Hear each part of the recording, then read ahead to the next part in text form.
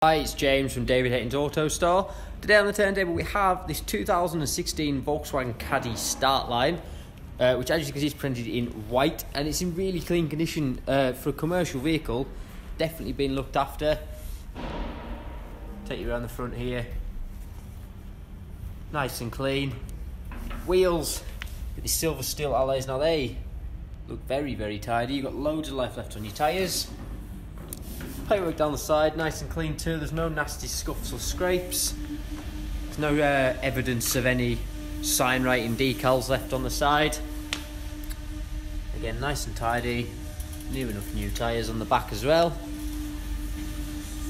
Come round to the rear of the van. I'll just show you inside.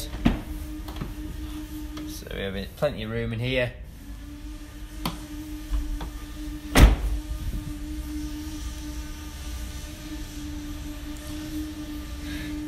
This side again, nice and clean.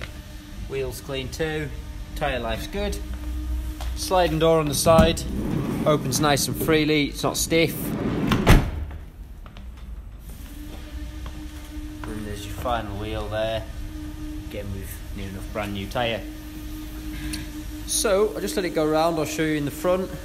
So it's just had the one previous owner. It's got two remote keys. All the handbooks are present and there is stamped service history in the book. So you've got electric windows, you've got electrically adjustable heated mirrors, cloth seats, very clean condition. There's no uh, rips or damage to any of them. The bolsters are all nice. Up front, just turn the ignition on. You've got the touchscreen multimedia. So you've got Bluetooth. There's DAB radio. You've got a CD player. Your heater controls are there. There's a USB port down there, and it's paired to a five-speed manual gearbox. So there we have it, Volkswagen Caddy Startline.